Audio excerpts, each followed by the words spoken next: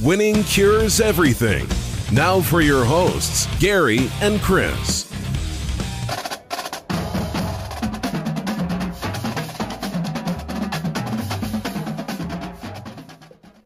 Welcome in to Winning Cures Everything. This is Christopher Giannini, and I am doing the Thursday evening show. It'll come out Friday morning for everybody. Joined once again by another member of the trio of the West Lot Pirates. This is my good friend John Lacombe. John, what's going on, man?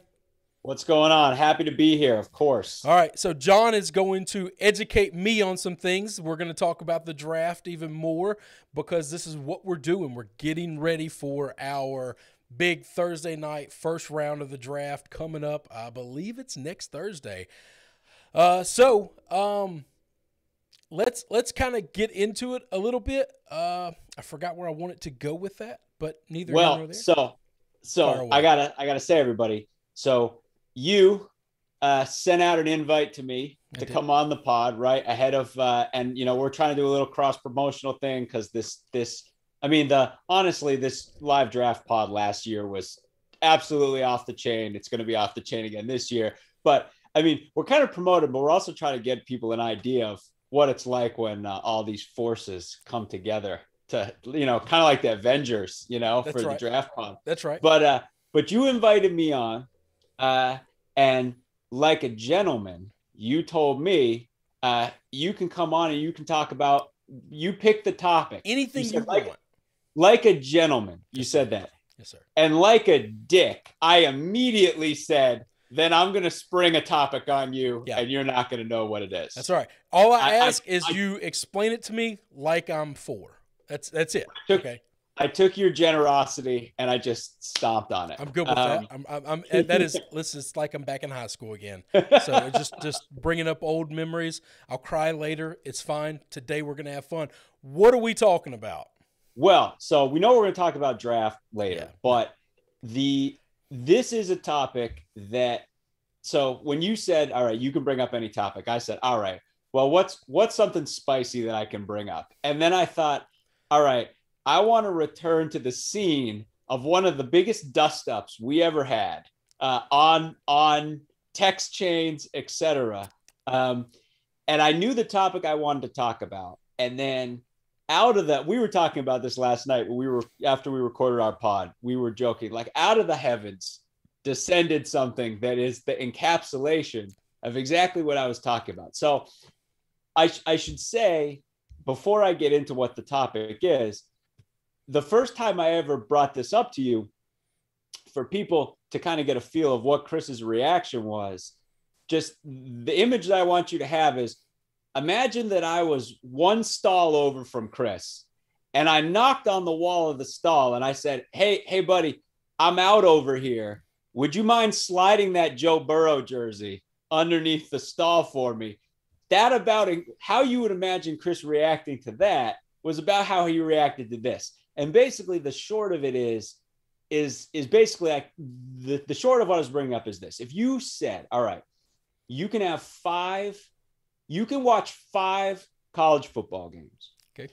And those five college football games will be between the two teams that by far have the most talent, the best players, um, highest stakes. You can make it the national championship game.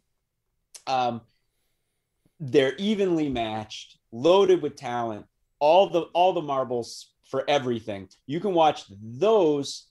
You can watch five of those games, or you can watch a hundred games where one of the teams is so much better than the other team. Yeah. Where Your Alabama Kent State. Alabama, Kent State, Alabama, you know, Montana comes down to to to, uh, to Tuscaloosa to take to take their lashing or whatever. Um, total mismatch. To me, that's not even a question. I take the hundred games I and I don't even look back. I know, and it and it it disappoints me so much. You're you're a Northwestern grad, okay? I am am a, a moron. I graduated from Ole Miss. I will tell you that I didn't deserve or earn my degree from Ole Miss.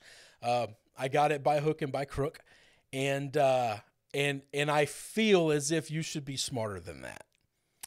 But I but you're not, and it's okay. I forgive it. look, look, I I just there are a couple different so there's there's a lot to unpack here and, and I can unpack it all and then you can just stomp on it piece by piece. Hang on. Can I ask you this before you do that? Does this feeling come from the fact that while you were at Northwestern, you're growing your love for Northwestern, you were that team that got stomped on by the bigger boys, and I- so therefore you have some nostalgia? I would actually flip that on its head. Okay. And I would say if there's anyone who should not feel the way that I feel, it's a Northwestern fan. Yeah. And this is something that again, if you're not a Northwestern fan, you're probably not as as uh, privy to this knowledge.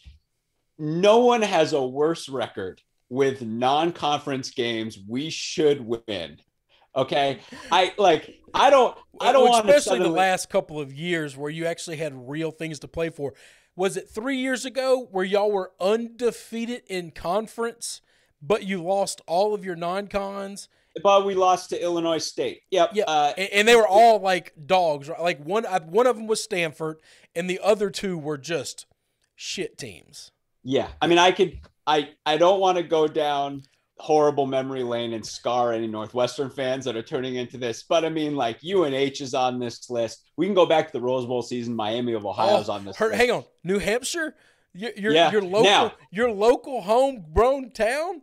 Now that's true, right? Uh, I didn't feel that way at the time, but but of course, look, Chip Kelly was the coach of that team. Um, we lost to Bowling Green when Urban Meyer was the coach of that team. There are a couple asterisks. I'm just saying, if there's anyone who should not look favorably on these kind of matchups, it's a Northwestern fan. And yet, I am the kind of person where I will sit, I will happily sit through 99 ass whoopings if it means I get to watch that one Yeah. that App State, Michigan, Yeah. or whatever, the one that we'll all remember for the rest of our lives, that's part of it. The other part of it, though, is, um, and this is this is what I, I remember bringing this up to you. And again, you were like, "This is the stupidest thing I've ever heard." Look, just the way I feel.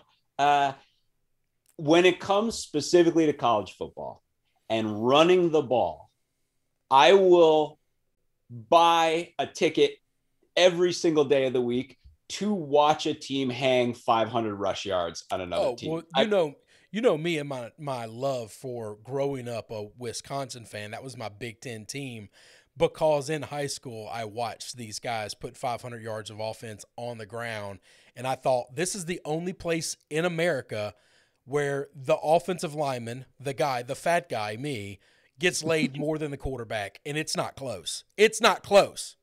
we were t- we were talking the other day. We got to Yeah. get you. We got to get you up here, man. We'll drive across the border. You'll walk into Mars Cheese Castle like a god, Yeah, my friend. That's that's what I that's exactly what I need in my life too. So yeah. Yeah, but so but it's even specifically um I should so I should I need to put a, a huge caveat on this Okay. because um you know we're in we're in this era now of, of society. Sometimes you have to separate the art from the artist. Can you separate the art from the artist when they do certain things let me just say i can at once acknowledge that nothing is grosser than nebraska football. Nothing Yeah, is grosser yeah. than nebraska football and yet i came of age as a high, as a college football fan when there was nothing more pretty to watch than Tommie Frazier and Lawrence Phillips. old school Nebraska football.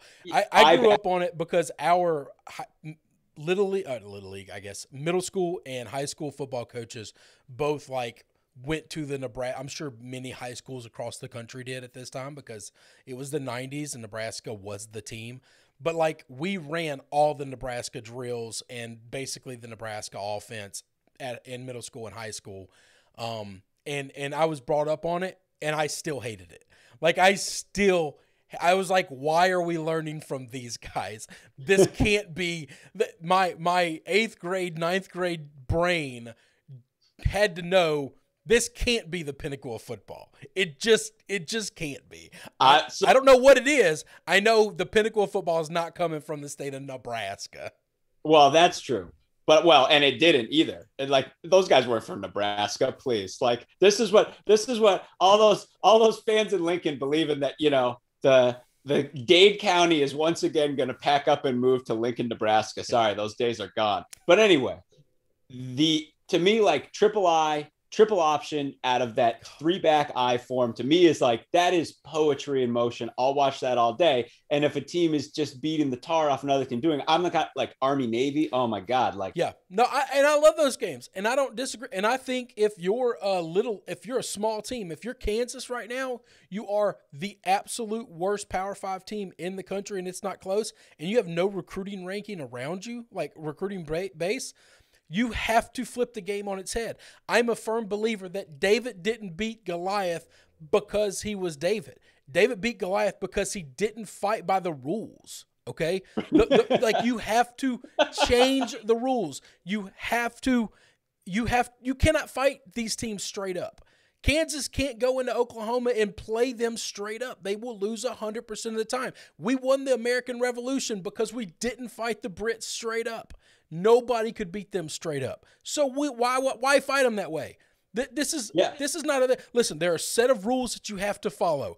As long as you play the game within those rules, why play it the conventional way when you know the conventional way is going to mean you lose? I mean, sure. I mean, if you're if you're the underdog, right? What have you got to lose? What do you have to lose? If you if it doesn't work, who you're already getting literally uh, FCS teams are licking their chops. Air, uh, uh, you know, to come and, and take your million dollars from Kansas, get your pay for win, and upset you.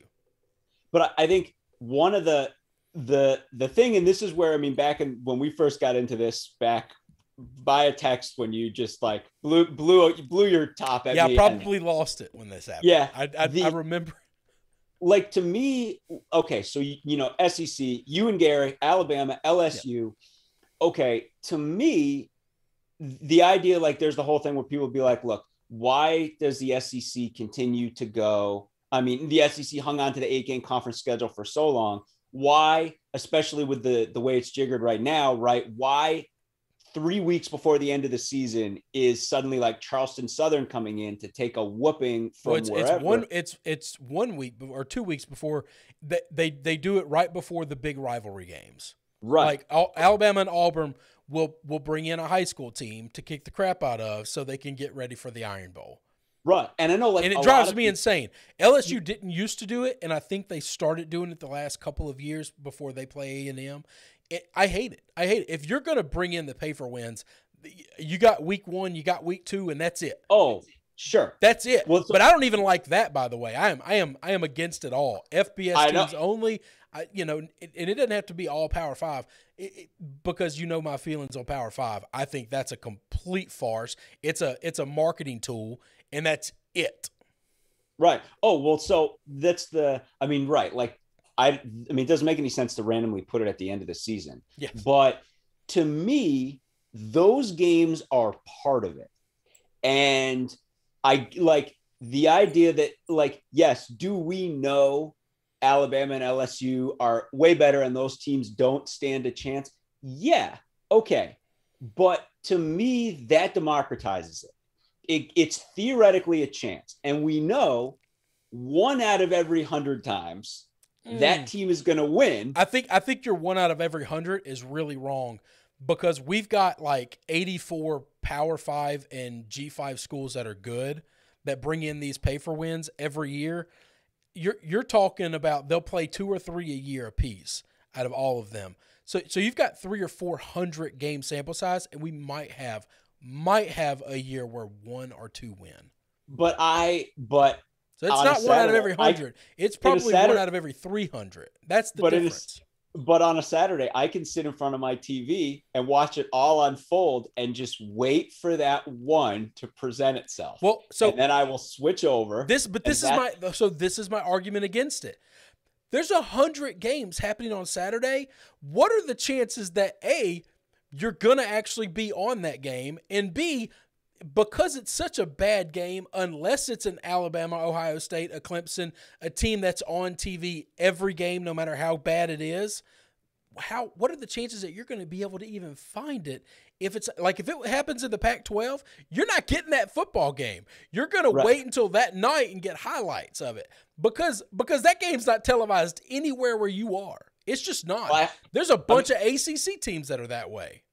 Well, that's true. I mean, uh, and ideally, like I'll be like searching for it and trying to find it. And oh my god, right, getting pissed off, being like, oh come on, like ESPN, why are you not? So this thing this is going to happen, but you're not even going to be able to see it. I'd be like, we're watching like South Carolina, Kentucky. Yes. It's like 21 20 in the fourth quarter. I'm like, I could care less about right. this game. Meanwhile, it might it like- might be 14 to 9, you know? Right, I mean, meanwhile, like, like- 21-20 is is pretty generous to those two teams the last year.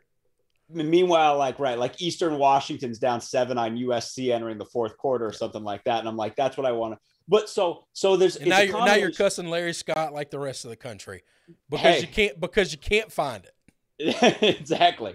The uh the well, I mean, and come on, like if, if it was really great, then they they USC would go up to that red field. That would be incredible. All bets are off on the red field. The uh but the I think so it's a couple different things. But one is to me, the thing that makes college football so awesome is that there are so many teams. And theoretically, yeah, I know it doesn't really happen, but theoretically, anyone's in it. And the dog and pony show of South Alabama going to Tuscaloosa and losing 60 to 10, like that to me is part of it. And I'm like, okay, on one hand, that allows us to see if, you know, the full Alabama battle station, sorry, I'm mentioning Bama so much, but That's the full, the full battle station against an outmatched opponent, this is what it looks like 400 yards, you know, DeVonta Smith, 300 receiving yards, etc. A lot of that is going to look good to me. The fact that it's a mismatch, I'm still going to be like, look at what happens when these guys are able to do all these things. And then I can watch them play the best defense or them match up with Clemson. But to me, the and because I mean, it's the kind of thing where people always be like, let's cut this stuff out. Let's cut all this out. You know, the idea of a super league, which is where we're going to go in a second, right? And be like, let's, we don't need the other guys. And I'm like, you can't have one without the other. Like it all functions the same way. But you get people being like, no, these guys bring in all the revenue and everything. And I'm like, it doesn't work that way.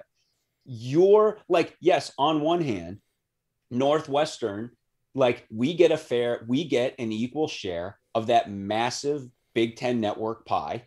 Um, and a lot of people are going to be like, look, Ohio State is the bell cow of the conference right now. They deserve a lot more. And it's like, okay, but just the fact that they are the best, it doesn't work that way.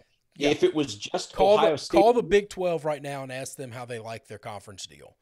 Because because Texas gets a substantial amount of money more than everybody else because Right. they get the Longhorn network outside of the Big 12 network and and therefore it's it the rest of the conference is not rising.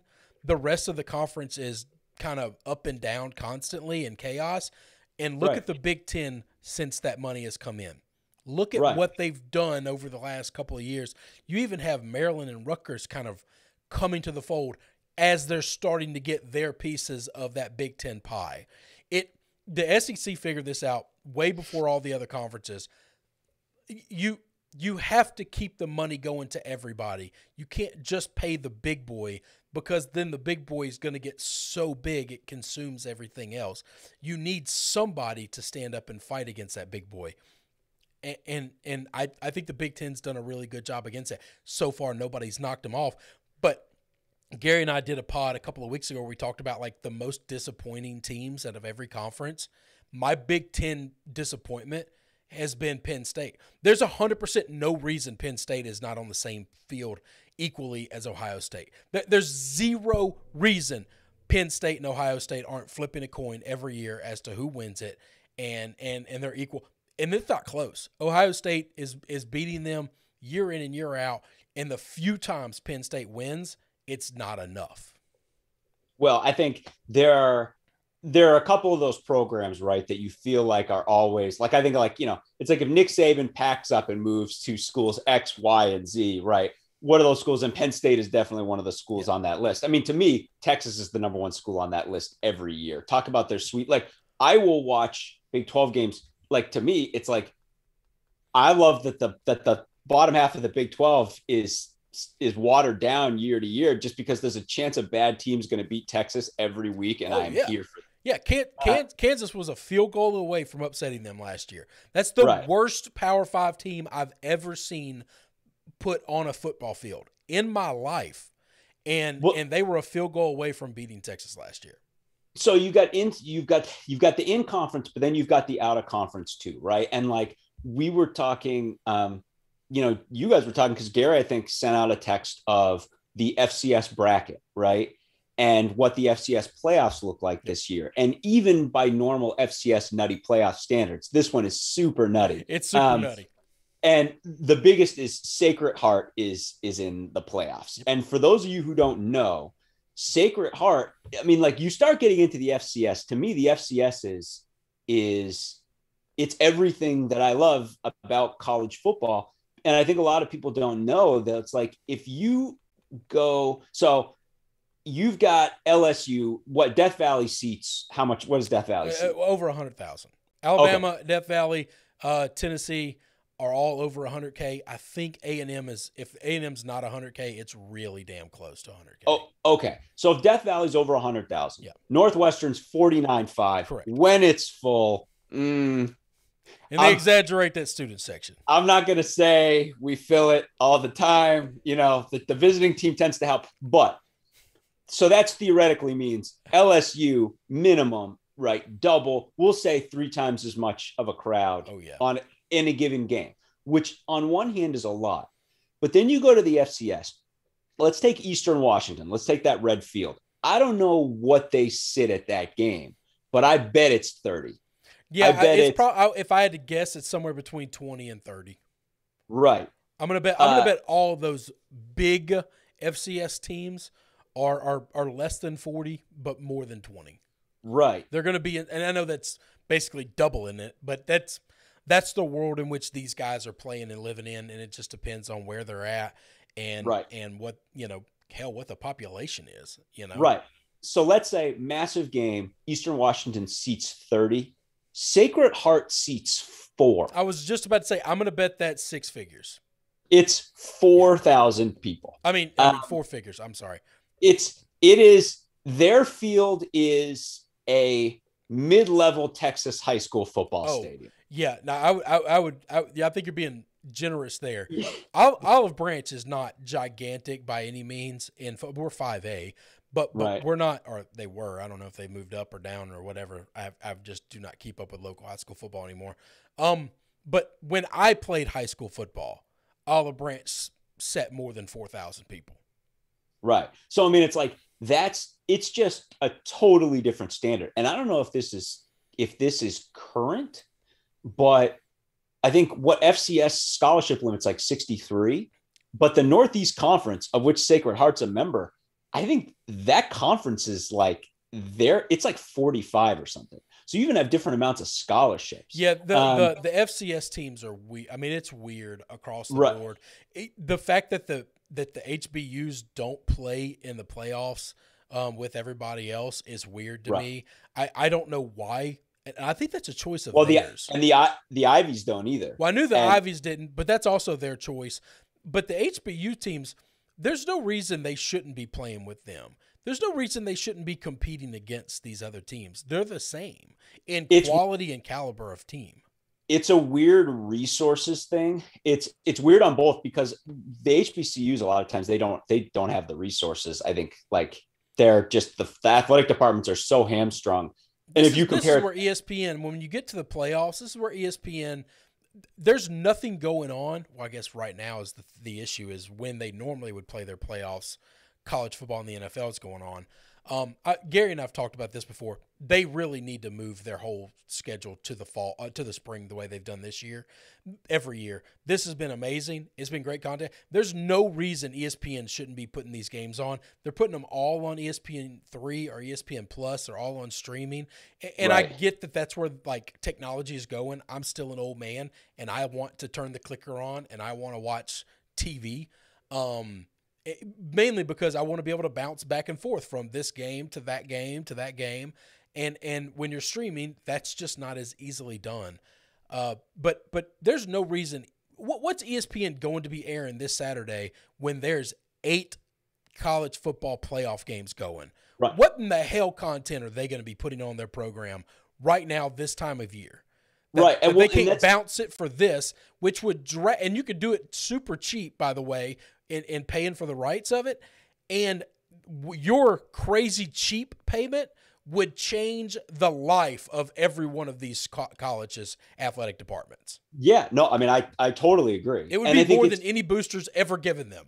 Right. And it's like you, it's crazy because you, to me, again, the fact that it's all linked, right? That these FCS teams play FBS teams, Yes. right? That connects it to me and it, it weaves it all together. And then I can draw a line and be like, okay, if I'm watching, and I've I watched this once, I mean, like Villanova playing at playing uh, Montana in the FCS playoffs at Montana in like a driving blizzard, like that, it doesn't get any better than that and the and the idea that like I know, yeah, Sacred Heart is uh, is probably going to go to Delaware and get absolutely destroyed. Like they're probably going to get leveled.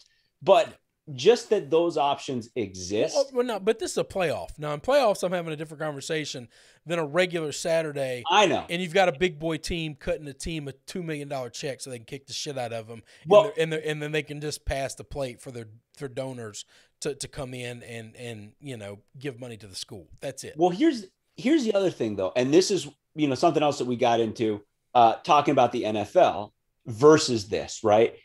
If there's a mismatch at the NFL level, it's because one of the two organizations is incompetent. Yes, And that to me is like, I'm not going to be like super pumped if the Bears pull their heads out of their butts and somehow beat Kansas City by hook or by crook in some random game. I'm still going to be like, that was just like bizarre. Your stars aligned and you just like didn't get in your own way for one game. Where as opposed like as opposed to a college where it's like if one of those teams wins, they did it probably because you were saying or like some awesome scheme or things really aligned, but they overcame a lack of talent by just like playing their butts off. And I don't know, like again, I know that it's that this is just like a false idol 99.9% of the time, but I'm just like to me it's the that's that's it's it's what makes the difference for me.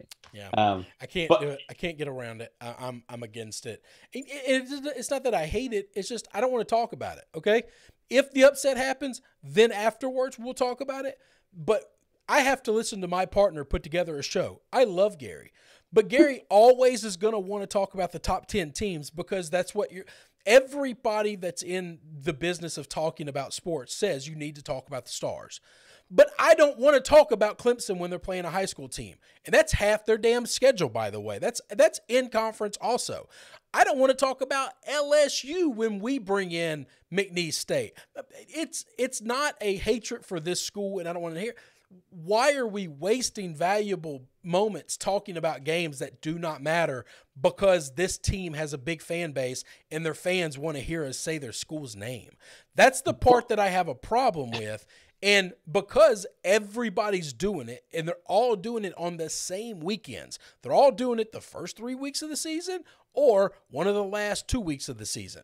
And therefore, a large chunk of the of the television watching games available are all garbage. They're all garbage.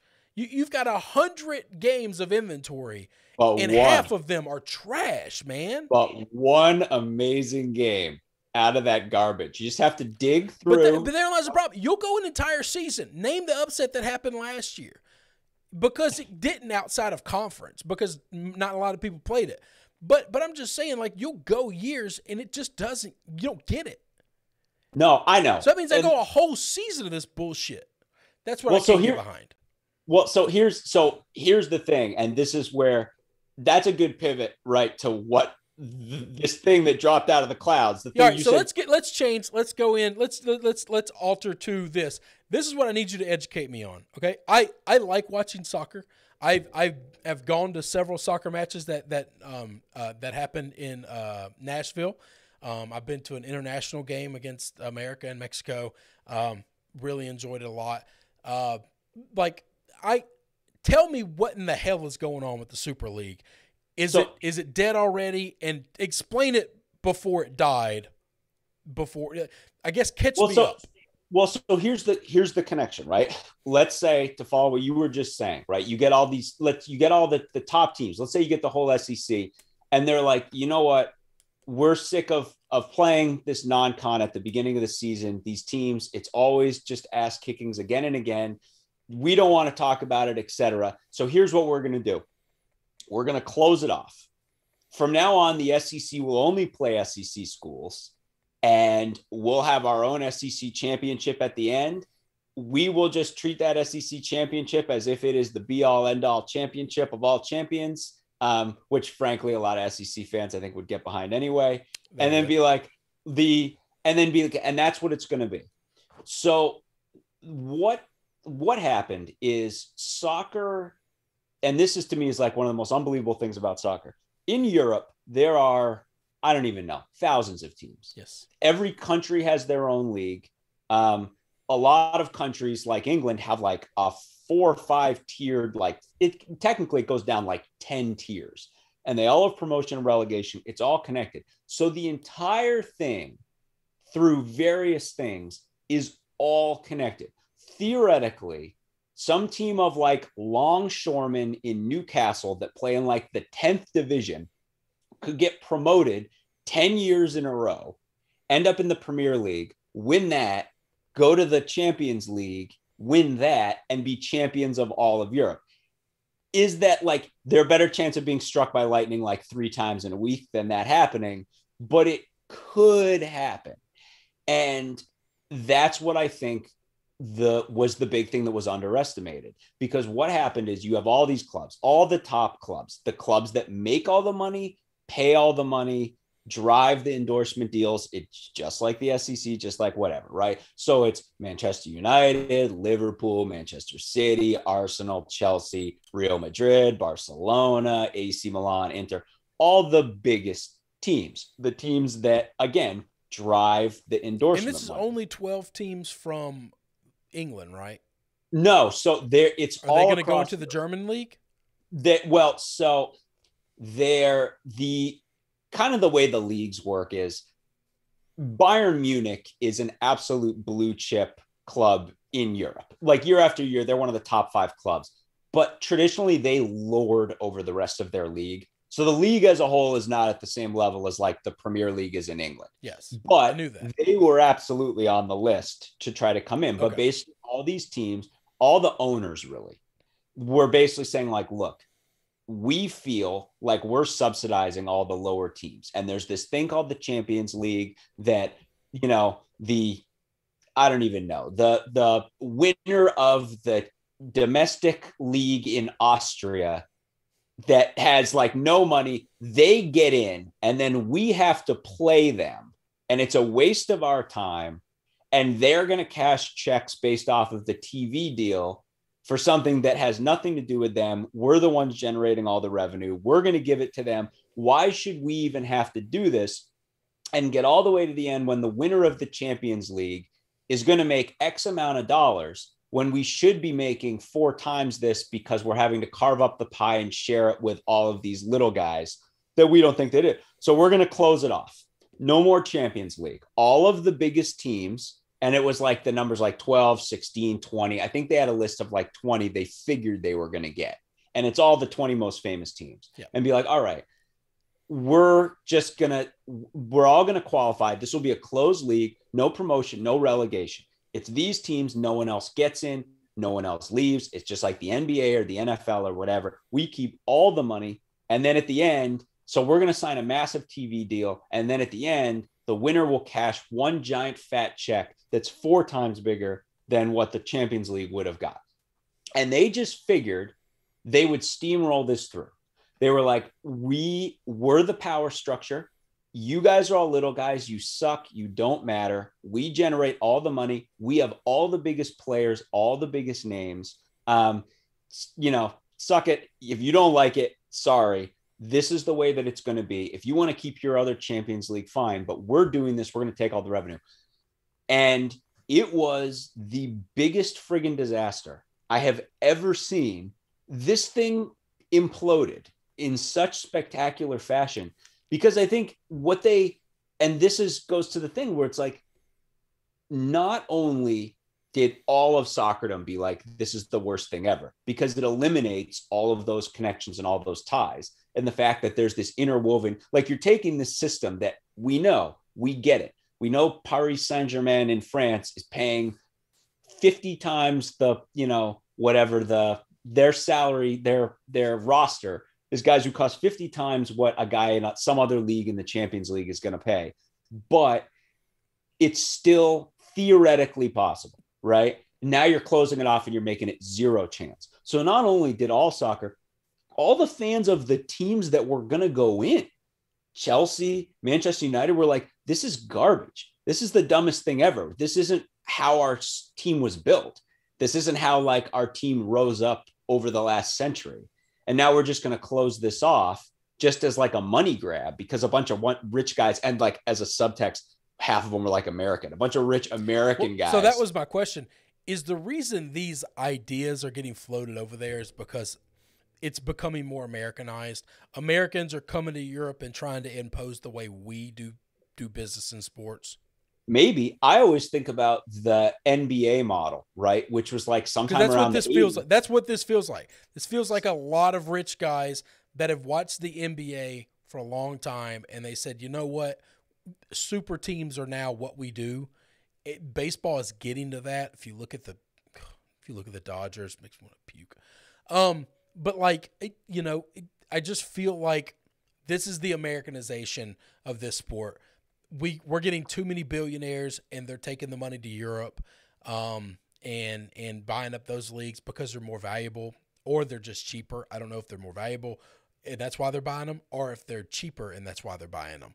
Um, you know. But but I mean that's the thing. Like I was thinking, like the I I do feel like it is kind of like a wake up call. And again, this is me coming from my perspective, which I get it is not everyone's perspective. But I look at it and I'm like, look, these guys all um, that these guys believed that the money they got, it's like no one wants to see a king lording over a, a castle of one, right? No. Otherwise, you're not a king anymore. That's right. Like we get it you have all the money, you have all the power. But if you don't measure that against everyone else, I'm not going to care anymore. It doesn't matter. And this is again, it's one of my big impediments to look. I wish, so wish that some of these basketball leagues in Europe would rise up to the level where they started to approach the NBA so that the NBA had to recognize some of these teams. So I've got a question about that, and, and I'm going to bring it back to soccer because my thought is would it be wise for American soccer? Okay, the MLS is it, it it's a thing. Okay, it's not super popular, um, and it's struggling to to stay relevant. Would it be better for we keep the American team, we can keep the MLS, but one MLS super team. You take all the all stars, the best players from the MLS, and you build an American team to try to start playing in Europe in the European leagues instead of in America. listen, we fly teams from New York and LA four times a week, all the time, to, to play basketball, baseball, hockey, soccer, uh, basketball, uh, football, everything. We fly Jacksonville to London three times a year. Damn it! To like, there's no reason. Air travel is easy and it's cheap, and they're all going to fly a private charter plane would that help build the sport in America if we had an American team that Americans could get behind trying to get but we'd have to it would have to be an all-star of American team. Like you well, couldn't you couldn't just just buy up a team and start playing over there. You literally would have to take the best players we've got, make it well, basically our international team. Well, they sort of do that. Um in a way. The MLS All-Star game now, well, I'm talking usually, about a, a, regular team, not an all star team. A re- I mean, basically, you're putting all star, but not in an all star game or an all star tournament.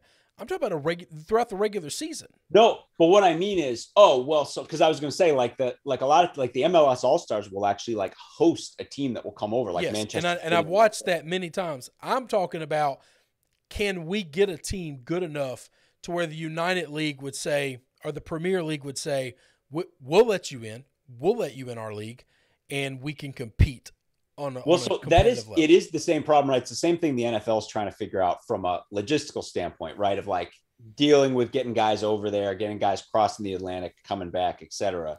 But um, here's the thing: I, can't you just stay there for the year and then play like three home games in America? That's it. They're all played in New York because it's the easiest place to get back and forth from London, and well, then and then you just you just play the rest of your matches over there. Well, I mean, like the the other thing I think, like before you can even get to that point, I mean, I think one of the things that I would love to see is, I mean, you look, you say, okay, where's the fan base? Because it's like soccer is to the point now where it's kind of like hockey. Yes. Right. Where is there this massive overarching fandom? Eh, not outside of Canada for hockey, yeah. but do people love their team? Yes. yes. Local it's it's baseball. I mean it's a it's a very low version of baseball. Hockey's trying to get to baseball's level. Baseball on a national level is terrible. But right. the local markets for baseball is unbelievable. Well, Hockey is, is getting very good local ratings. MLS, I think the good thing a couple well, of years ago when Atlanta won it all, hell, Atlanta was a soccer mecca. Uh, Cincinnati, uh, you talked to Scuzz. My, my buddy was at uh, Cincinnati University or University of Cincinnati. Um, when they got their team, that place on on a game a, a game day oh, yeah. was insane. Well, I think a lot of people don't realize too because of like it's a lot of it is West Coast oriented. Yeah. But like Seattle like they pack Seattle place. and Portland. I know are two huge. Portland, huge ones, Seattle, yeah. Vancouver, the and the Galaxy, right, and places where there are large Hispanic fan bases. That's what I was going to say. I think one of the first steps is um, I would love to see some sort of like combination promotion relegate thing with Liga MX, the Mexican league. Those places are absolutely massive too. They sell out like crazy, and the talent is pretty similar to MLS. And it's like you could build it up and build it up. But to your point, I think a lot of people they view it through an American lens, right? Like one team could come over and it's like, well, all right, if you're trying to measure yourself against them, you got to preserve some sort of system where everyone's connected and everyone gets to be a part of it. And it's difficult because I mean, it's the same, you know, it's like I'm sure Australia has the same problem, like China, Korea. It's like you got to get there. Being so, so far like, away. The difference right. is, is the distance between here and Europe just isn't that far. Yeah, I, I mean, mean it's, it's, almost three thousand miles across our country. It's like thirty five hundred miles from New York to London. So right. it's, it's so, not, I mean, it's, it's not in, in, an airplane. It's an extra forty minutes. Right. I mean, it's like they could. I mean, I'm sure there's something that they could put together. But I mean, I think it's to me, it is. It's one of those wake ups where okay, I get it if it's like NFL, NBA. It's always been like that. It's always been a closed league. It works fine, great. Yeah, you don't. But I would definitely. They make too much money as they are. But I would definitely look at the European Super League, and then I would look at the SEC or something. And I'd be like, look, if you're Bama, like, yeah, okay. If we take those off the table and we replace them with X game, X game, just understand there are going to be some years where even with a good team, you don't watch your team beat the crap out of a single team yeah. the whole season. And like that's fun too.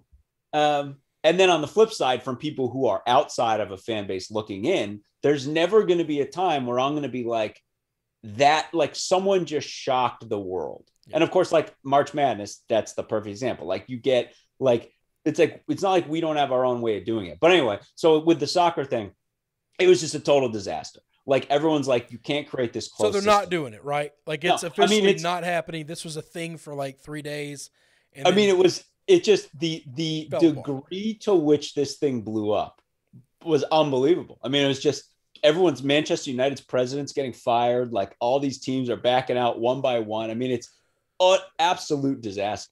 What so what team does john henry own that's that's my Red Sox owner. That's that the yeah, he John Henry had to give a big apology today. I'll give him credit. He ate it. He ate it because I was expecting all these owners, I was expecting every one of these owners to a man to stand up and be like, you know, we we didn't really want to do it anyway. Uh, the other guys made us do it. you know, we were the first ones. That was wasn't my idea, and Henry totally had to stand up. He is. Oh gosh, now I'm gonna man. Manchester United, I think. Is he a Man U owner? Or is he Liverpool? I- no, I- Liverpool. You're, you're, I'm Liver- asking it's- because I don't know. It's li- it's Liverpool. Okay. The Glazer family. is didn't think it was Man U. I was almost Yeah, positive it wasn't. That, That's 'cause but they're both that's American. one of the few teams. Yeah. How many of the European teams are getting bought up by Americans? It's those two. I mean, so first of all, And If- I'm, I'm sure they're groups, by the way, right? there are like John. Henry doesn't own them, just like he doesn't own the Red Sox. Right, He's he's the part of majority ownership. owner of the Red Sox. Right. So it's like the there are a couple, um, and of course, there's money comes from the shadiest places over there. I mean, oh, and that- oh, there's there's no doubt that that I mean, Chelsea. yeah they're not they're not vetting by- owners at all. Yeah, Chelsea is owned by uh, you know a Russian oligarch who got rich on shady oil money, and like Paris Saint Germain is backed by, I don't know, a series of shell corporations that are really the Saudi royal family. It's like there, there's a lot of that kind of stuff. So, Yeah. but I do think you know, I mean, as this colossally exploded, I do think a lot of people were like, look, you again, you've got if you're the king, you have to measure yourself against anybody. So again, I know this is such a big long tangent, but I know because we could go back and forth on this. I was like, this is it's it is. I mean, I and I get it. I Well, I'll I- give you not- my opinion at the end of the day. I'm glad it fell apart. I don't believe that the SEC should build a wall um, and, and and only play themselves. I just don't want to see them playing FCS schools. But listen, I, I'm not opposed to LSU bringing in Louisiana or, or whatever. Louisiana went into to uh, oh god dang Iowa State last year and and beat them. They beat them handily. But that's not an FCS school playing. That's not a one out of a hundred. That's like one out of thirty. Okay, like the difference between Louisiana and all these other teams. Hell, Louisiana is still a top twenty-five football team. They just play in a smaller division. right. Right. I just love- that's not the separation that that we're talking about. When App State beat beat uh, uh, Michigan, App State is not some middling, you know, Sacred Heart, whatever. App State was the dominant force in FCS for a long time, Right. and therefore, you know, their best played our mm, big name, but probably not very good, you know, Power Five team. So Right. No, I know. And it it's like I I do love though the college football is the one thing right where you can do that transitive wins thing where you can be like this team beat this team beat this team. And I know because Northwestern has prominently figured in that in a couple of years because Yeah. we will absolutely lose to some FCS team and then go out and beat Michigan in the same year. That's yes, how we get Yes, you've done it. I've watched you. I've watched you do it, and and Yeah. it's it's very frustrating. By the way. All right, let's let's get into some draft stuff. I hit the draft a lot with with Sam yesterday. We talked a lot quarterbacks. Um, you said you wanted to talk undervalued players. I love this idea because there's a couple of guys that we've talked about in our group chat.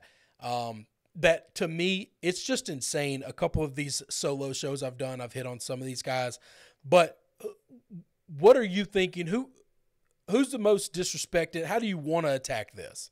I so the first of all, I want to say like you know, you guys always have great graphics on your show and everything. I just hope there's one of those transition bars. So for everyone who was like, There's what the hell was what the a- hell was that? Listen. for the last half hour. For if if for Gary's shows, he he writes the time down. There's like the little thing where you can like go and click and get to like different chapters.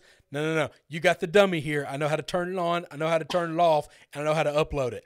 That's the short and skinny of what they're getting. So this is this is just chasing the rabbit all the way down the uh, the street. Hilarious. Well, so I think to to get into what we were just talking about, what I was thinking about earlier. All right, let's say you go and talk to a bunch of draft experts, right? Like let's say the combine was going on this year and you could actually go and you cornered a bunch of people and you said, "Look, there's a really good chance that 5 years from now we look at this draft and Micah Parsons is easily the best player to come out of this draft. he realistically could be uh, uh, Khalil Mack out of And- and- out of this draft, and, and and all those people are going to look at you and be like, "Yeah, sure, sure, yeah, that could definitely happen." What are we doing then? Yeah. What are we doing? so if he he does not go in the top 10, I, I think he's gonna. So Sam actually had him yesterday going two nine to his Broncos. Um, I, I, here's what's strange to me. Okay, I think we have overvalued quarterbacks to a point to where I, we've gotten to the level of insanity. Like, like I think it's crazy. I think this the amount of quarterbacks that are going to be taken in the top 10 this year, I think is going to be all five of them. And and I believe that in 3 years we're going to look back and say that was stupid. That was stupid. There's a world I, in which why wait? Yeah, th- there's there's a world in which uh, Kyle Pitts, Micah Parsons, uh, uh, Ja'Marr Chase, and and and Sewell are are the four best players in this draft outside of maybe Trevor Lawrence. And outside of Trevor, there's not another quarterback that's close to those four guys in the way we judge it, but because they play a specific position, and that position is so important, it's weighed so much more.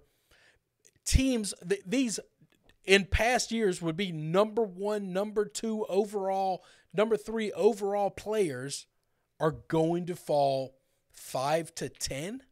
I do, and I mean, it's like it'd be one thing if this was if these were a weak crop of guys that we're talking about here. Yeah, like I, I, I know, I know. Overall, the class, top to bottom, is a thinner class, but that's not these guys. Michael Parsons, Michael Parsons is great at everything. At everything. There, everything. I told you, I he could be Khalil Mack. I think yeah. in my in my world, Khalil Mack is is the ultimate, the perfect linebacker. Now, the last couple of years, in, he's long in the tooth right now. In his prime, he's he's he's one of the most unstoppable linebackers that we've I've, I've seen in a in a while in recent form. He rushes the passer, he stops the run. He, you know, he could get drop back in coverage. He's one of the most athletic and smartest uh, linebackers that I've seen play in a long, long, long time. I think Parsons could absolutely be that guy. And he's there's not a world where that that level defensive linebacker, edge rusher, whatever, doesn't go in the top three. Every draft, they, they're a top three guy, and right. he might fall out of the top 10. Like, you can't tell me he's not one of the three best players in this draft. Yeah. And that's the thing, right? It's highway robbery. Yeah, it's insane. I fall, do think that's insane.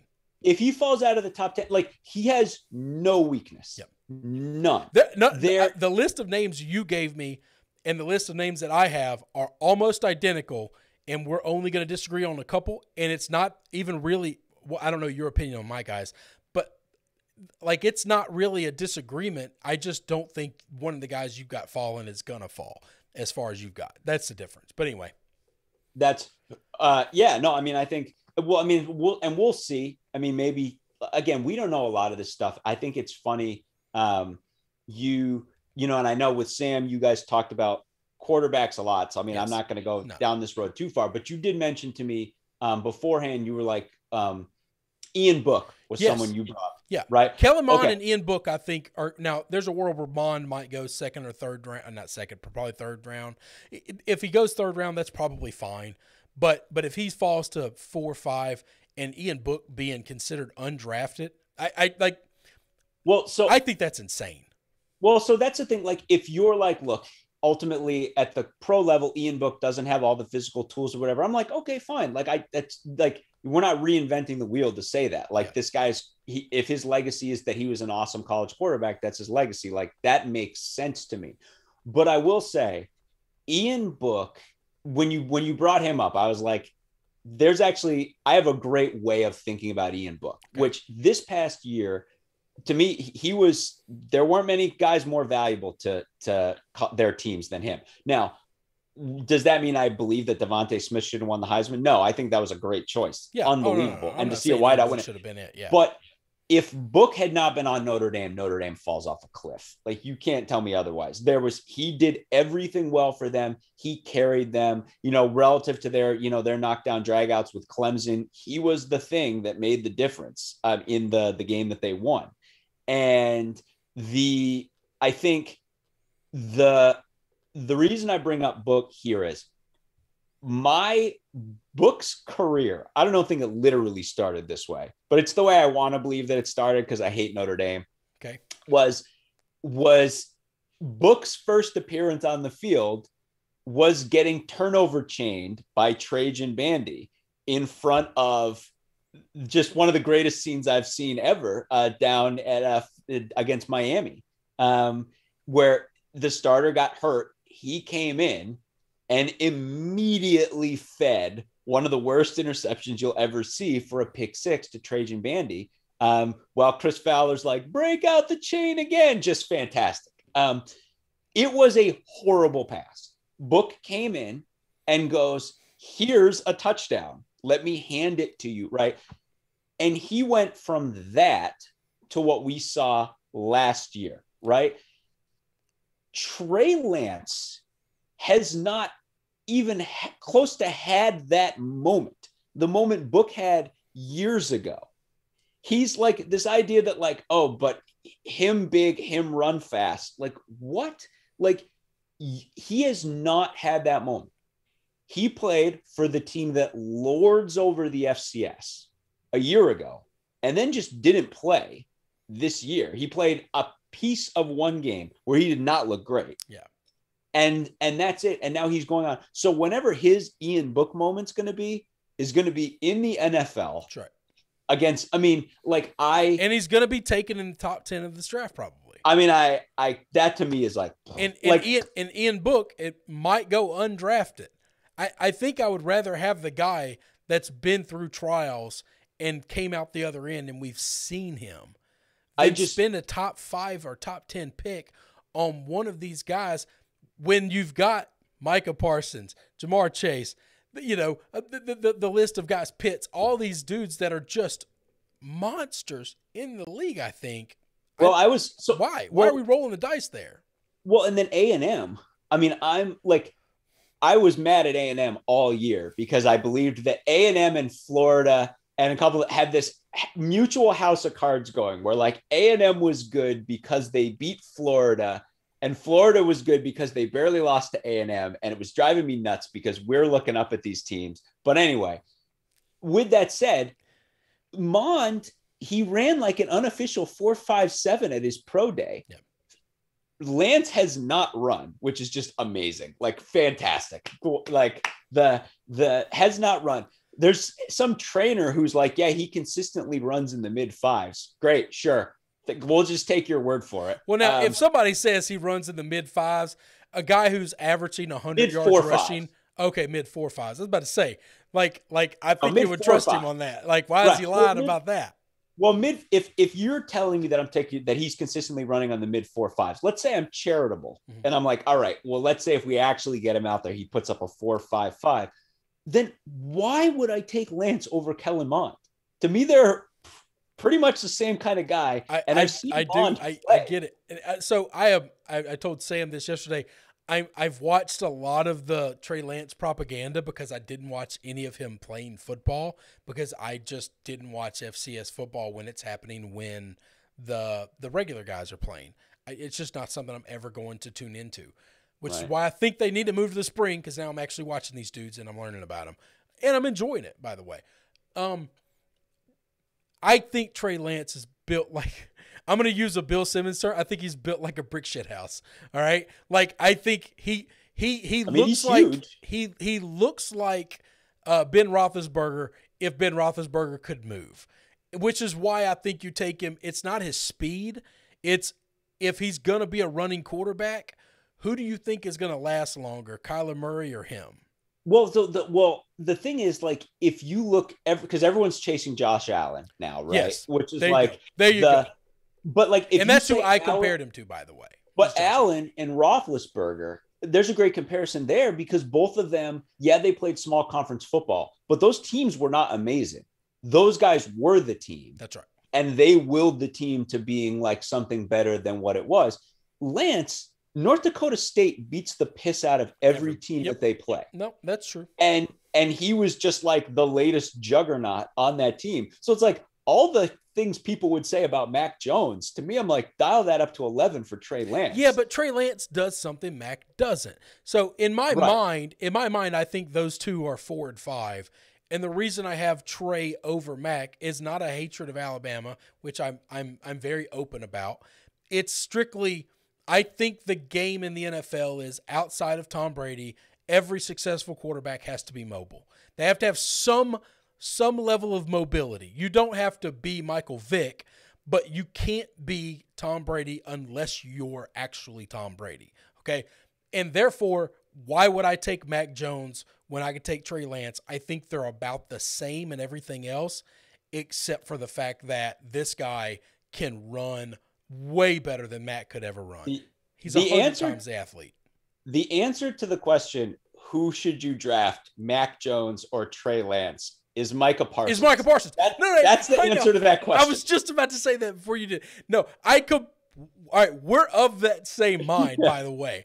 We agree, and I'm the guy who's saying, listen, I'm the only person I've ever heard talk about this.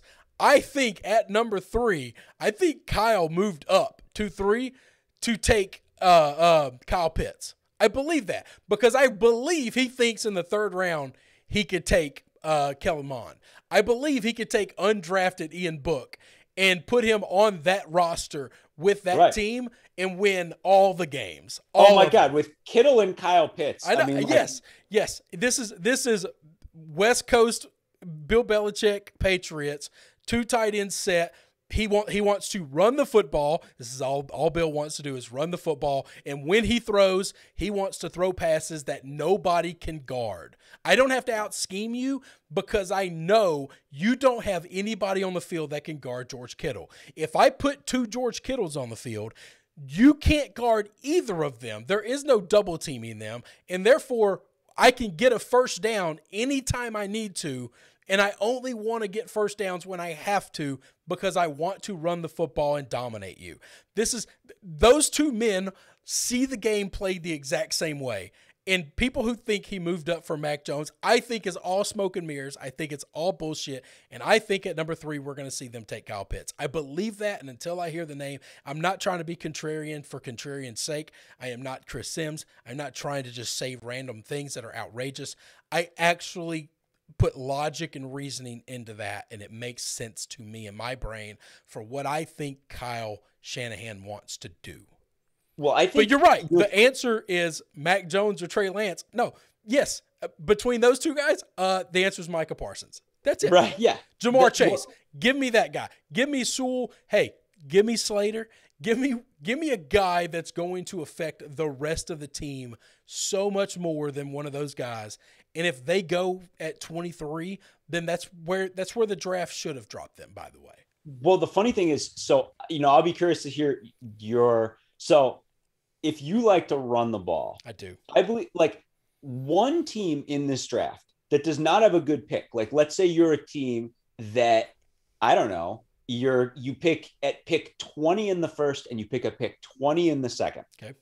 There's a chance that with those two picks, you could get a pair of running backs that cover literally a hundred percent of every situation where you would want a certain type of running back to do a certain type of thing.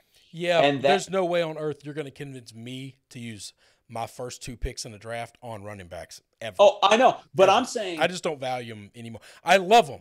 I love them. I'm I got the Browns gear up here. Listen, I'm gonna I'm gonna be sad because at some point in time Nick Chubb's contract's gonna come up, and I'm gonna say Cleveland would be stupid to offer him one of these $14 million a year deals that running backs are getting. It would but, just be a dumb thing to do. But first of all, when do you think Najee Harris is going to go? Second round.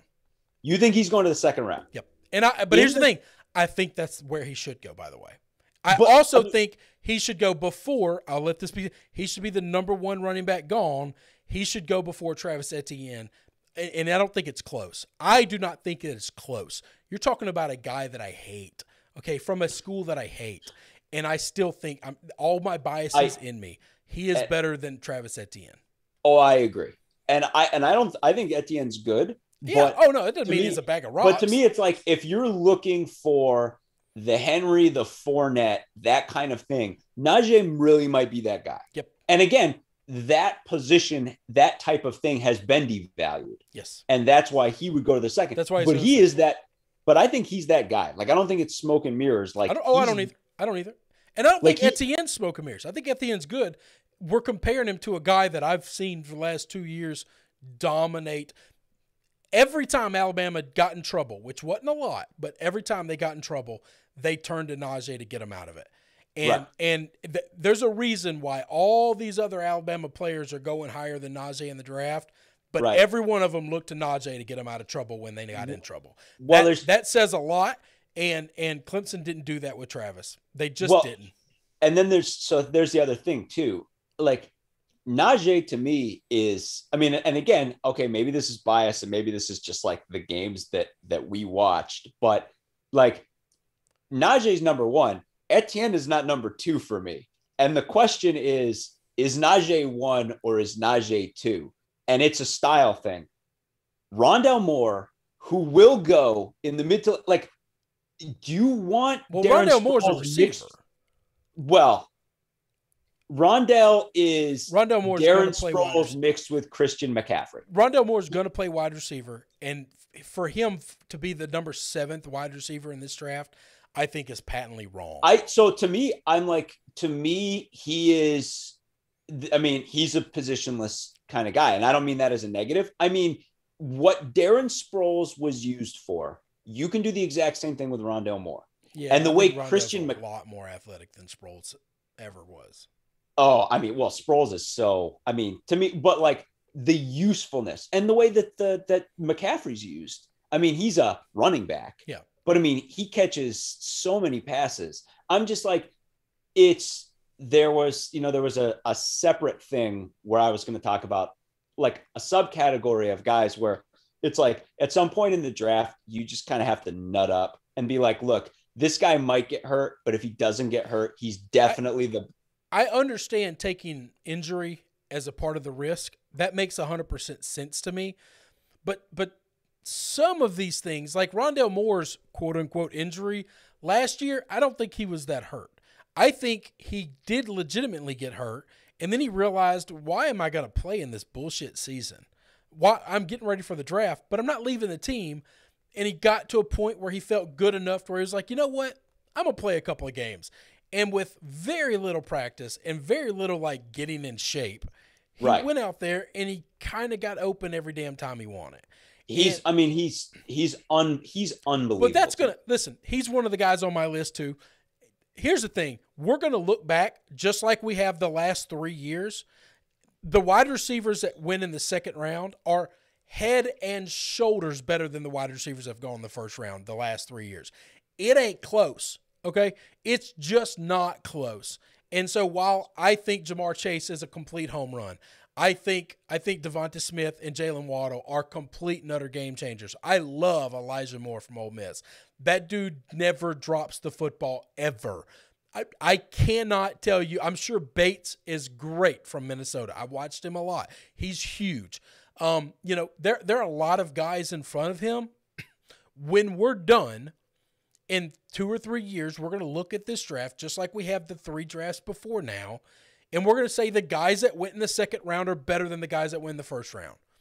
And Yeah, I I think mean, it's there's- completely asinine. In a perfect world, what I think would happen is the Bengals get Joe Burrow the help that they need. They take Slater, they take Sewell, and and then they take Elijah Moore to throw on that that skill thing later. Like I, I just that makes sense to me. Yeah. There's, I mean, there to me, and that's the thing. Like again, to me, Not Elijah Moore, Rondell Moore. I'm sorry. I got well, Moore's- more right. Well, to me, Moore is such a flexible player. Like, I mean, and again, like you can play him anywhere, and it's like it's the kind of thing where it's like you're like, I mean, how God help us if like the friggin' Chiefs get him at the end of the first or something like that, and then everyone just kind of goes, "Oh my Well, god!" Well, the only beautiful serious?" thing of that is their offensive line is so bad they have Right. to take a line. Like if they do, like we all said, eh, you know, everybody knew the Packers were going to take a wide receiver because they have to draft a wide receiver. Like Right. this is not that. Okay. Right. That it, you can go ahead and just pencil in offensive lineman. I don't know is it going to be a guard. I don't know if it's going to be a center. I don't. I don't know who it's going to be. I know this.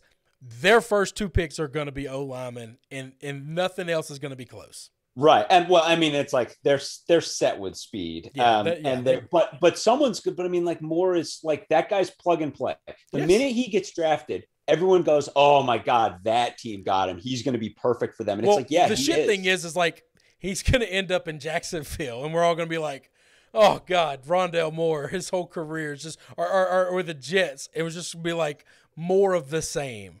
It's like yeah. another great athlete that had all the potential in the world is going to go to this shit team and well, never be anything special.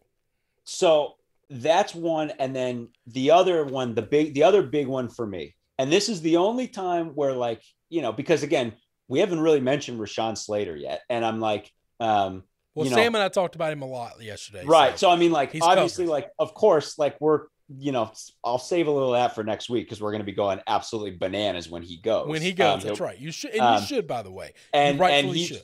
And he's going to be someone's cornerstone left tackle, and and is an amazing player.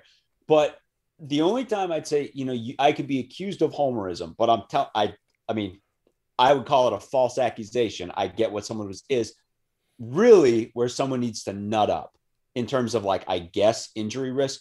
To me, Greg Newsome's the best cornerback in this draft. And to me, that is academic. I have watched all these guys, and to me, like the idea that he, that some people, like someone like Chris Sims, will have a top five cornerback discussion and not include Newsome is the best. Okay. And I know SEC country, people have different opinions, etc. He's the best cornerback. He is six one with Gumby arms and legs. He's all arms and legs. He's six one. He's sub four four speed. He was easily on film the best lockdown corner in the Big Ten. He was the best corner in the Big Ten by far. But because of friggin' Ohio State, Shaun Wade got the Shaun Wade, who is not in the same league as a cornerback, got the accolades. I mean, he was there with the they were your first team all Big Ten corners. Um, Newsome is it's so like you watch on tape, he's just the dominant player on the field every time he's out there. He locks down whoever the wide receiver is. Um, and it's like I don't get how in some situations like he was a three-star recruit, he went to Northwestern, like you pop in the tape, like to me the comp is Richard Sherman. Yep. A guy That's, who I, is, I, I, I'll agree with that.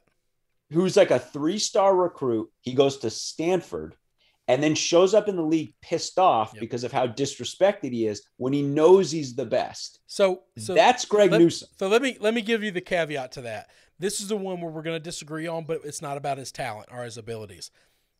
I I don't listen to Chris Sims not having in top five. I've looked at a lot of different like rankings of DBs he's he's consistently two or three. Okay. And everybody's got the Alabama boy at one. All right. And that's and, and you're not going to get anybody to disagree with that. And the reason he's going to get it is twofold. One, it's Alabama. That's just it. But the other thing that's actually logic and reasoning is look at the wide receivers that come out of the Big Ten and look at the wide receivers that come out of the SEC. The, the, the Alabama boy actually has to guard the best wide receivers in the country. And there's not a single wide receiver that's going to be drafted out of the Big Ten this year at all. Not yeah, I not, mean that's not one. It, but that, hang on, but that still with that thrown at him, he's still consistently pro football focus has him number two. That's the uh, number three sorry. That's the ranking i trust the most. They, they are the least bias bias when it comes to most of these guys. They really only look at analytics and and they look at everything. Considering his quote unquote caliber of opponents and the injury risk, him being three on their board tells me he's going in the first round. It ain't oh, close. Oh, it ain't. Close. Mean, he's not. He's like you. You sent me the text. You're like him falling the second round. I don't think there's any chance he falls in the second round. I just don't see a world where that happens. He is too good, and he's been too consistent, and uh, and and and you know, I just I just don't see it. Well, what's funny to us is is um, we had so we had Kaylin Kaler on the pod earlier this week, and she was talking about that she had talked to scouts who had watched Justin Fields and been like, one of the real worrisome things about us is his performance uh, in the Big Ten championship game against Northwestern. And we were like, yeah, duh, yeah. because he played the number one defense in the country. That's right. Like, what do you want? Our defense he, was he looked un- like crap. He looked like crap was, in that game. Yeah, and it's like our defense was the best defense in the country, scoring defense wise. I mean, yes. like we were unreal. Newsome was one of the cornerstones of that defense. I get it. Like to your point, right? Like there, that was one of the only times, right, where he's not playing the the LSU wide receivers, the Alabama wide receivers, that, etc. that that's the issue is is Alabama went up against uh, Florida, they went up against Georgia, they went up against LSU, they they went up against A and M, they went up against teams at Ole but Miss, it's they went up against teams that are good now against Ole Miss. They gave up a metric shit ton of points. So you know, I, I'm sure there are times where, where he didn't look great in that film, but uh, but that's that's my only caveat is is but I mean you. But He- I think one of the things he went that against the best receivers in the country. Well, and I think one of the things that I think it pisses Newsome off so much, right, is he's he's from Illinois, That's right. so he's he's not from a speed state, Nope. but he's from Illinois. He's the best corner in the state of Illinois. He goes to IMG for a year. He's the best corner at IMG. That should have that should have gotten him Power Five looks, but uh, like bigger school looks in the South. Well, he had he signed with us. He honored his commitment. He'd signed with us before he went there, and then he oh, well, went there you go then. And then and then he goes to Northwestern, best corner in the Big Ten, and now he's going to be like. I've. He's like he's going to be like I'm the best everywhere that I've been. Yeah. And now I'm gonna, you know, so to me, But I don't. again, I, I think he's going to have to make up a little bit of the chip, though. If he falls to the fifth or sixth cornerback taken, and, and he's in the second second round, then he's got a legit beef, and I'm wrong. But I'm if he's the second or third cornerback Hey. taken, and he goes like 17th from overall, your lips, from on, your man. lips to God's ears, my friend. If we get a run on corner start at like pick ten, that's what I want to see. You Yeah. know, Well, I don't And see then- that happening, but I'm, I'm going to tell you a team I hope he falls to. I, my, for the first time in my life, in my life, oh, my Cleveland Browns don't have a need. They don't have anything that like we gotta have this player fall to this spot because we are hurting here. They're not hurting anywhere. And if and if I get to throw into that secondary that's had injury problems in the past, which means we just want a bunch of elite guys because when one goes down, A, they don't have to play a bunch of shitload of snaps. Right. I, I want to do that's smart. I want to do that can play. I want to do that can help lock down dudes. You know, I want somebody to shut Juju up. I want somebody to to to to, to put Holly Brown, Hollywood Brown in the locker. Like like I I want that guy, and and I hope that he falls. The problem is is I don't think he's going to be there at 26. I just Hey, don't. well, and, you want us to all buy you a, a Greg Newsome Cleveland Browns? Well, yeah, I would. No, no, no. Hang on. Now, oh, so this is a this is a little bit of a I'm not super comfortable in my own skin thing. Um, I'll wear jerseys, but like the the like the it's it's basically offensive linemen. Most defensive players, not DBs, can't be secondary guy.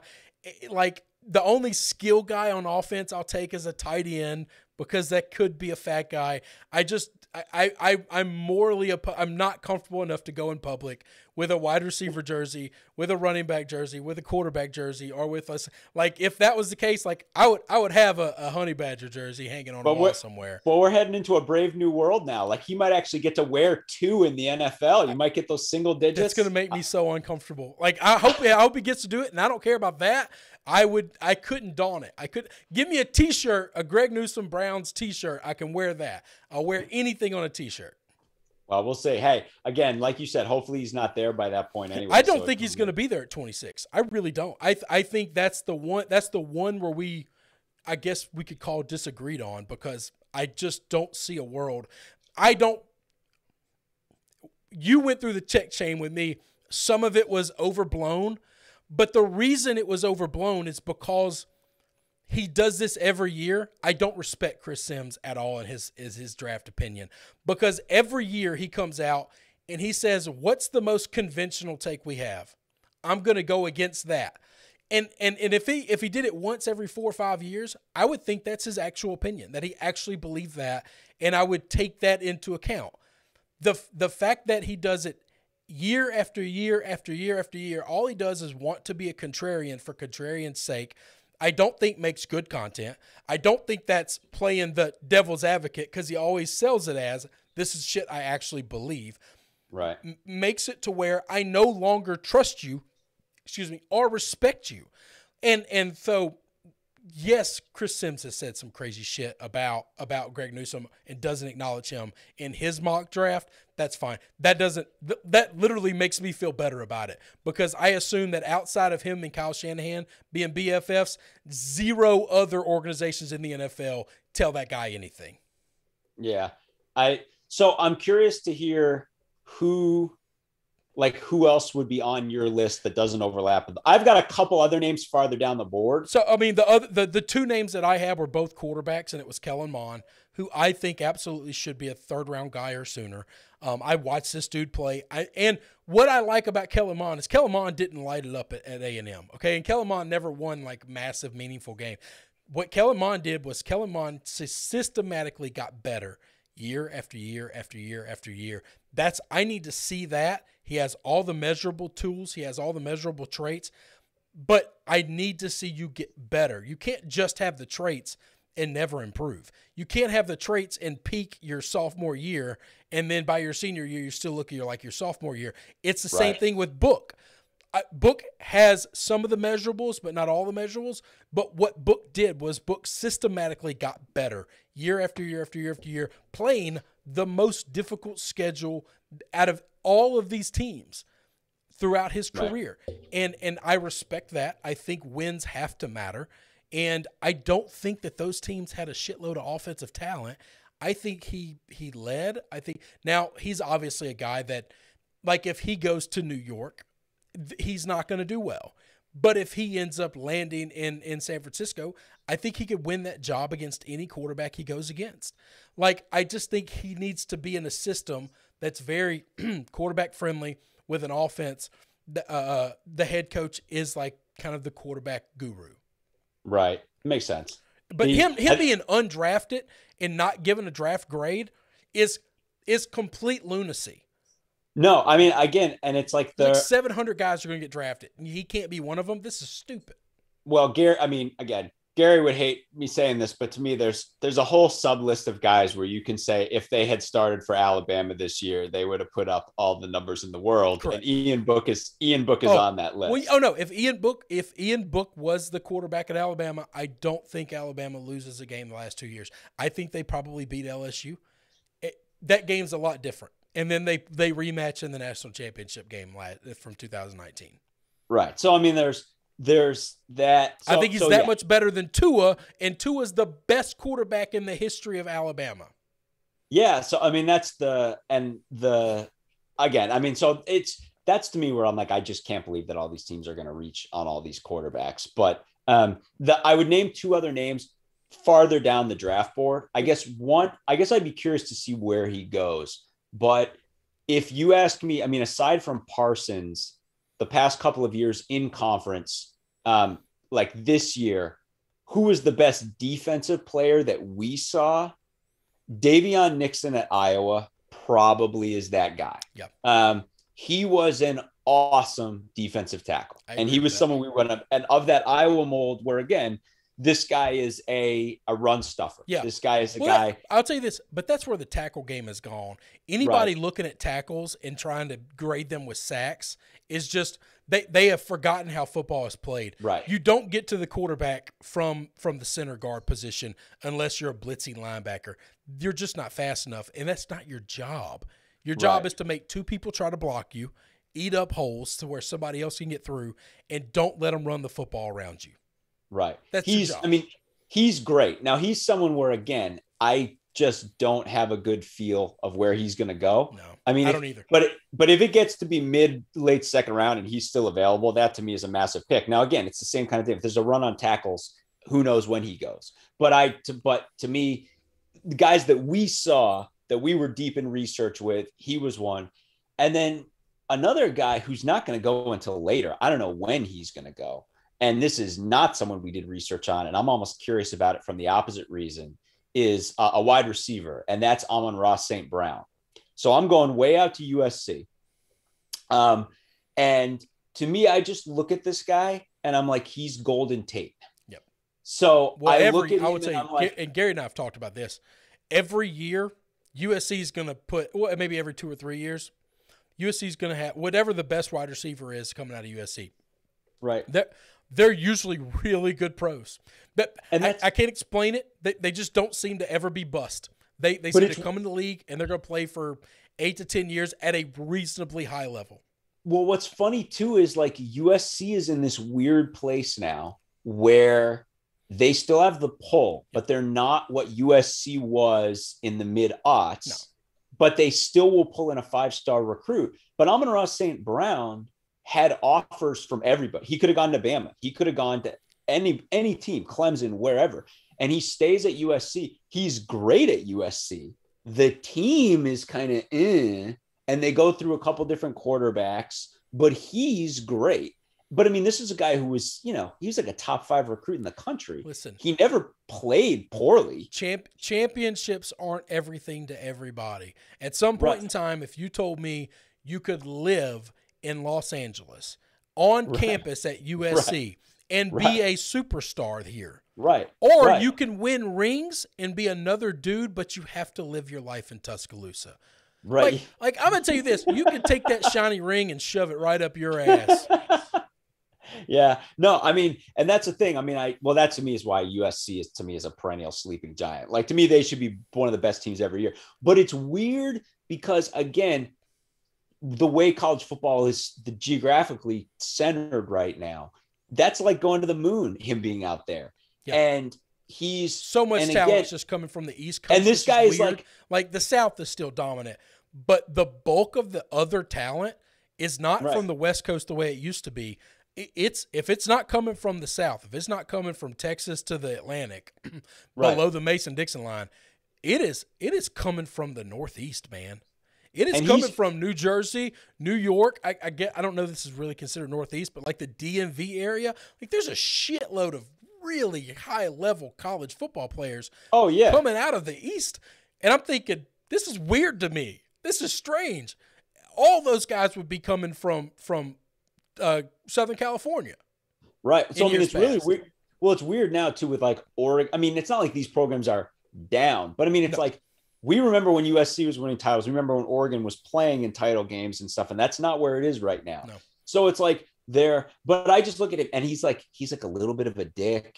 And he's like thinks he's the best guy on the field at all times. It's easy to dislike him, same as Golden Tate. And I'm like, I totally I kind of I kind of like that on my wide receiver. There aren't a lot of positions where I want that guy. right. I think I want him far from the ball. I think I like it when they're uh, DBs or receivers.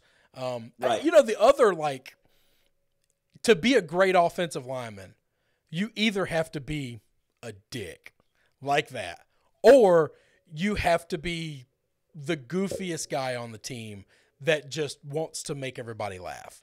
Like, Right. there's no middle ground in like elite level offensive linemen. There's just never been a guy that's been an elite offensive lineman that had no personality.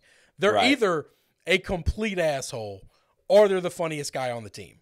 Right. Oh well, to me, I'm like my favorite thing every year is is there's always that guy in the top 20, top 13. You know, he like he might be, you know, he might be a Pacific Islander, he might be Yeah. something, and they're like, yeah, this guy's not a lot of pass pro technique. He hasn't a lot of pass. He's a liability in the pass game. Um, played in a run heavy offense, and then they show you the clips, and it's just this guy eating people, Just destroying it's the people, yeah. Greatest thing you've ever seen. yeah, yeah. It's and just he's, like, and he's like he's like talking bad about their family, Right, And just like yeah. like like picking fights with everybody. Like that guy. Right. Oh no, sign him up, draft Yeah. that dude. He's he, all his liabilities are gonna go away as soon as you show him what you need him to do. That's what Right. that team needed him to do. But if he's nasty like that, man, Right. those guys are great. I'm telling Well, you, that's- if you let me interview all the like the elite offensive linemen, I feel like I could pick the ones that are going to be the bust because they're the guys that are going to be boring. Okay, if Well, you come into that room and you're a dick and you're a bully, I want you. If you come in that room and you're the funniest guy in the room, I want you. But I don't know why, but mentally, I've seen those guys. You're like super nice guys that were really funny and jovial. Are probably the two, in my eyes, the two best offensive linemen of all time, Well- Jonathan Ogden and and my hero Joe Thomas. But like you, then you also have like just your super asshole offensive linemen that take no crap from nobody, and they're just the they're just the best. Right. Well, that's the. eh, This is why we get so excited because like Northwestern perennially has that thing where like we're just waiting for any any good player we have. We're just waiting for somebody. Well, he's real smart. He plays. He's a real student of the That's game. right. That's right. And we're just like f you. Yeah. And then there's So hang year- on, would you ever be insulted if somebody was like, you know, not as smart as we thought he was going to be, like kind of dumb, but man, look at him eat this guy. Well, Like so w- that wouldn't be offensive, right? That wouldn't bother you. But like, hey, I'm okay that that guy got a degree from Northwestern. so Hell yeah. this- so there's this video that was making the rounds that we were all super stoked about, which was I think it's probably from last year. I don't know if it was last spring or whatever, but it was Rashawn Slater squatting um, three times, an unbelievable amount of weight. Yeah, But the you the- do have the so most awesome- famous, uh, like uh, strength and conditioning guy. Yeah, well, so there's that guy, but what happens is it's in the weight room, our sweet ass weight room, and our sweet ass best facility in the country. Uh, Hey, you still need an athletic director, and I told you I'm available. Yeah. I'm not. I, I literally don't have anything to do tomorrow. I can You'll come. out. You'll come up and, and and and walk people around and be like, "Look at this! Look at this!" and then watch them sign their name on the line that's dotted. Yeah. So, but there's this scene where there's this video of him squatting, and it's like you'd expect, you know, surrounded by the rest of the team, everyone's going bananas, but there's this edge to it. The strength coach comes up behind him to spot him and like slaps him on the shoulders, and he turns around and shoves the strength coach so hard. And then uh, Gunnar Vogel, one of the other linemen's there, and he's kind of like laughing and also being like, "I might have to step in here." That's right. That's and right. it's like this this whole scene, and then he turns around and this like angry, just like unchained energy squats this weight, and we're like, "Yeah, Yep. that's Yep. who you're getting." That, I want that guy in the locker room. I didn't see. I don't know enough about Sewell. I need to sit down and talk to him because if he's not really funny, he doesn't look angry to me. Now maybe he is, but I need to know these things about my linemen because I don't want my Right. linemen bored. Listen, there's five of you guys, and you're gonna be best friends for the rest of your life. You're going to war together. You're, you you this is what you're doing for for for the rest of your life. You're going to be best friends. You're going to work together. Your family's Right. going to hang out, and and I need you guys to. There's a you can't have five assholes, but you also can't have five goof offs. You need a, a, a two and three combo of something right. and and and if you're boring you can't be in this party you just can't you're not invited i don't care how good you are Right. Say, and this is where this is where Rashawn's going to be that guy. Now he has the glasses on, so if you want to carry the stereotype, you know, we'll fill all your needs. He's Northwestern, where we wear glasses and then shove every guy in the locker room. That's that's who we are now. You just like got to you just got to get used to it, America. This is what Northwestern football is now. But yeah, but he's but I mean he I mean I guess Sewell might be the you know thought of as I mean for first of all Sewell has been since his freshman year I can't remember a time when Sewell was not everyone's number one That's right. offensive lineman. That's it. So and Slater is but I mean Slater's right there now. And I mean I think again they're I want to see them both go off the board quick because Sewell will probably go first. Excuse me. Sorry. Bless you. Um, but but uh but yeah I mean again that's where we're gonna go bananas because we think Slater's gonna go top 10 somewhere but I don't you, know I think where. you should go bananas. I absolutely think you should. This is a big day. the The tide is turning for you guys. I, I'm I'm not blowing smoke in your face because I like arguing with you. You're my favorite person in the world to argue with. I don't know if people out there in the world know that you have taken that well mantle. if, if they if they didn't know we gave them 45 minutes of evidence to start this thing off so You're my you're my you're my favorite person. Uh, you challenge me, which is all I want. I just want people to make me. We don't we don't have to always agree. I need you to make me think about the, reason I think the way I think. I'm okay with when we're done us disagreeing, but I need I need my ideas to have been challenged. I need you to say you think this way, I think this way, and this is why, why, why. And now I'm either stronger in my ideas or I'm changing my mind. And and that's that's what you do. So I appreciate it. It's a, it's the most valuable thing that I have in a friend, and and I, I appreciate it. Uh, we're gonna get out of here, John. We've gone for a little while. Thank you. I appreciate you making time. Um, everybody, appreciate it. Join us Thursday evening um, for when we jump. That's right. in. And I want I want to say too, if you're listening and you're listening to one side or the other, and you, you've been listening, you listen to me for a half hour off the top, and you were like, "This is the stupidest thing I've ever heard." Hey, at this thing next week, you can tell us we're going to be available. Yeah. Right. Yeah, People I, think, can- yeah, can I know on in. YouTube you'll be able to say. I think Gary's sending out on Restream, which means all of the platforms can all talk to the same thing. Um, so that that makes it fun. I don't know how any of that stuff works. I. I assume him and Sam. They, Right. they do it. I, I just dance for the people. Okay, just I'm just the monkey boy, and, Right. and when the music plays, I dance, and when it stops, I stop. That's right. Same thing. So, thanks, John. I appreciate it. I'm going to get out of here. Everybody, appreciate you jumping in and joining on us. And uh, remember to uh, to to like the the show, share it out with your friends, and um, and and all the Northwestern guys. Come give us some love, uh, especially on uh, on next Thursday night when we go live. Thanks for listening to the Winning Cures Everything podcast. The website is winningcureseverything.com, and if you want to connect with us, we're on Twitter at Gary WCE, at Chris B. Giannini, at Winning Cures, or you can email us, Gary at winningcureseverything.com or Chris at winningcureseverything.com. Subscribe everywhere you need to subscribe, and we'll see you soon.